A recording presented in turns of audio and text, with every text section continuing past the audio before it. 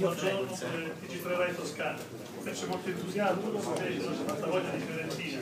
Come sarà questa Fiorentina 2013-2014? Il nome non so se lo si può pronunciare a questo punto, però fino a Super Mario ci possiamo arrivare. Come vanno le cose? Il mio direttore sportivo è preparatissimo e quindi lascio a lui la parola. Allora, prima che rispondo alle vostre domande, eh, voglio salutare Gianfranco Teotino da parte di tutto lo staff tecnico, iniziando da, da me, passando per Edoardo Masia, dall'allenatore a tutta la squadra che ci ha accompagnato, è stato un grande professionista e lo salutiamo con calore. E poi dopo fa- voglio fare personalmente in bocca al lupo ad Elena, ad Elena Turra, che mm, prenderà il posto di Teotino e ci seguirà quotidianamente. Elena la conosco bene, so quello che vale, so quello che può dare a questa società, perciò gli si può soltanto augurare una- un grande bocca al lupo. Arriviamo subito al sodo perché tanto così è quello che vi aspettate. Ehm, secondo me in questo periodo eh, se- si è parlato in maniera eccessiva di una situazione che sicuramente ci interessa, che è quella di Mario Gomez, è un calciatore fortissimo, ci mancherebbe altro che non ci interessasse, però è stata fatta della- della- delle situazioni incredibili, viaggi a Monaco, visite mediche a Firenze, il giocatore sta per arrivare, intermediari che alla Fiorentina non servono, tutte queste belle cose. Anche se smentite, eh, diciamo personalmente da me, nel senso che qui sentivo e dicevo che non era vero, però qualcuno non ci ha creduto. E lo ribadiamo. La, la situazione di Mario è facilissima da descrivere. In questo momento non ci sono i presupposti per Mario Gomez, nel senso che è un calciatore fortissimo che costa tanti soldi e mh, anche se la Fiorentina è una società solida e forte, poi c'è sempre un fair play finanziario eh, da, da seguire, nel senso che eh, ci sono dei parametri economici che sono importanti e in questo momento questi parametri economici non ci sono. Penso di essere stato chiaro ed esaudiente.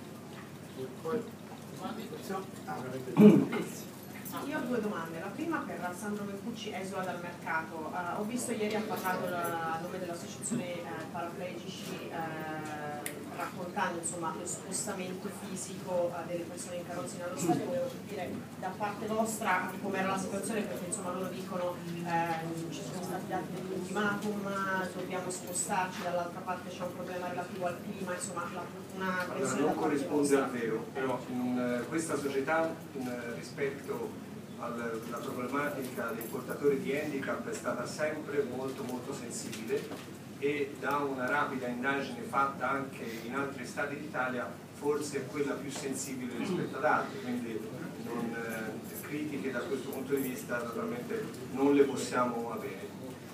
Ovviamente i portatori di handicap ce ne sono tanti, di tanti generi, e noi abbiamo comunque non solo accontentato ma anche reso eh, più felici il 99% delle associazioni che raggruppano il 99% dei portatori di handicap. Naturalmente alcuni stanno in un luogo, alcuni vengono spostati in un altro, ma non è che sia uno spostamento di particolare aggravio, anzi.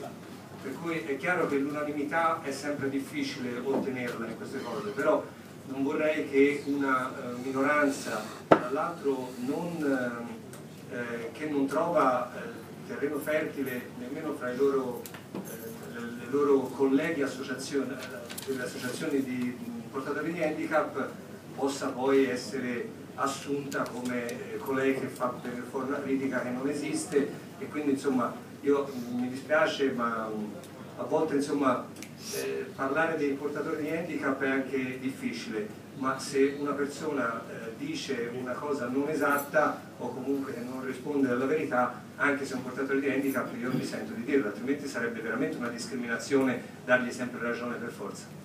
Grazie. L'altro invece per il direttore per quanto riguarda la situazione Gomez è stato molto chiaro, c'è un fair play finanziario da seguire. Per seguire questo fair play finanziario quanti sono i giocatori che non rientrano nel tecnico della Fiorentina e che voi dovrete in qualche modo, a prescindere da Gomez, per lui cercare eh, di, di sistemare sul mercato? Grazie. No, di esuberi ne abbiamo parecchi in questo, in questo momento.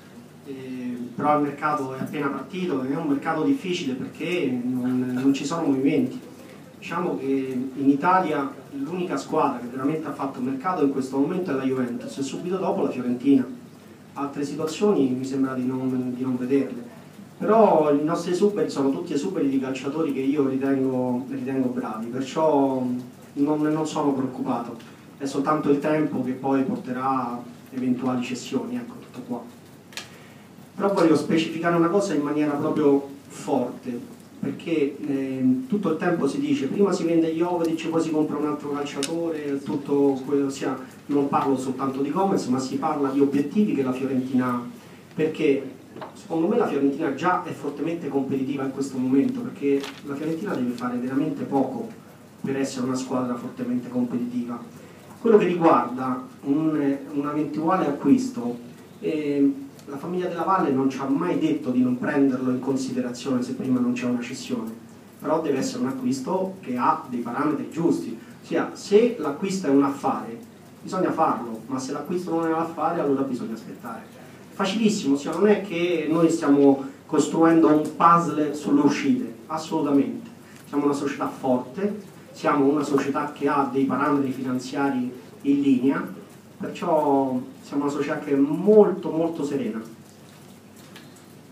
Salve direttore, quindi quando lei dice in questo momento non ci sono i presupposti si riferisce soltanto al fatto che magari il Bayern chiede troppo, non che non è stato ceduto eh, Jovetic. In questo momento non ci sono i parametri, il nostro rapporto col Bayern è un rapporto solido, è un buonissimo rapporto con Rummenigge da parte del dottor Mencucci, da parte mia, e, ehm, perciò se loro logicamente hanno un calciatore che devono vendere e hanno delle esigenze economiche, e noi le rispettiamo come noi abbiamo le nostre e loro hanno le loro. Le faccio una domanda sugli AIC, sì. volevo capire com'era la situazione, se pensavate comunque di portarlo in ritiro, parlarci. certo, ci mancherebbe che gli AIC, gli AIC hanno un comportamento in maniera regolarissima, si presenterà domenica sera, avremo modo di parlarci, ha espresso la volontà ehm, di parlare, di vedere, di trovare una soluzione, vediamo se questa soluzione ci sarà.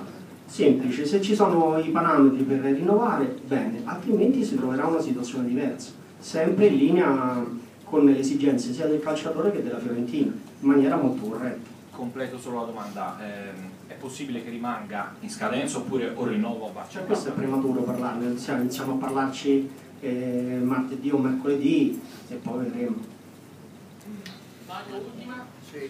Due cose velocissime, tanto grazie per la chiarezza. Eh, mi sembra di capire, però magari mi sbaglio, che ci sono comunque delle alternative importanti a Mario Gomez perché la Fiorentina ha un indirizzo preciso sull'attaccante. Questa è la prima domanda.